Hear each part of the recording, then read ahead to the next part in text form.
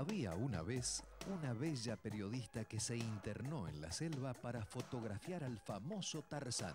Caminó horas y horas hasta que por fin encontró lo que buscaba, o algo parecido, porque Tarzán estaba hecho un dandy, claro, muchos años facturando con películas y series.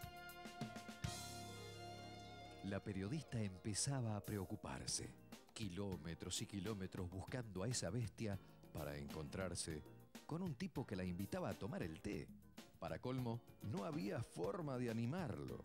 Entonces decidió encontrar al animal que Tarzán llevaba dentro.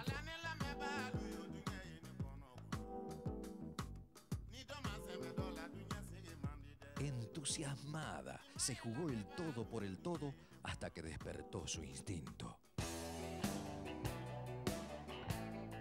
Su instinto para los negocios. Tarzán le robó la cámara y le sacó miles de fotos para venderle a la monada.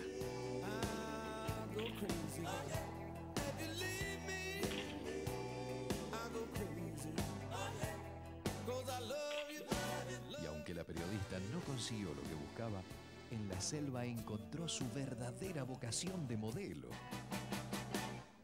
por lo que quedó eternamente agradecida.